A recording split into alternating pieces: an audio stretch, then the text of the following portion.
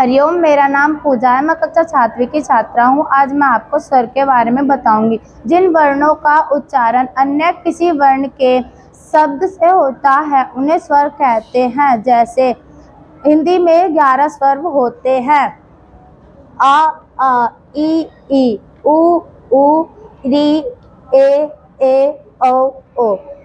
स्वर के तीन भेद होते हैं, हर स्वर दीर्घ स्वर प्लुत स्वर हर स्वर। जिन वर्णों का उच्चारण सबसे कम समय में होता है, उन्हें दीर्घ स्वर कहते हैं। ये चार होते हैं।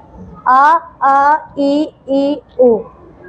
हर दीर्घ स्वर। जिन वर्णों का उच्चारण सबसे अधिक समय में होता है, उन्हें दीर्घ स्वर कहते हैं। ये सात होते हैं। आ आ ई ई ओ ऋषि प्लुत स्वर जिन वर्णों के उच्चारण में तीन गुना समय लगता है, उन्हें दीर्घ स्वर कहते हैं। ये इन जैसे ओम अब आम।